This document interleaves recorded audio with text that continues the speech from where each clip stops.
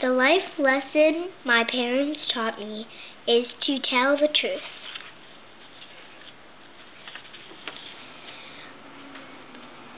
I broke my mom's favorite vase, but she wasn't angry because I told the truth.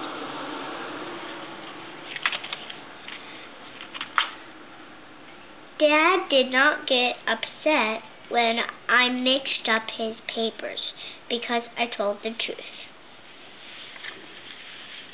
Took candy off of Millen's gingerbread house, but he wasn't mad because I told the truth.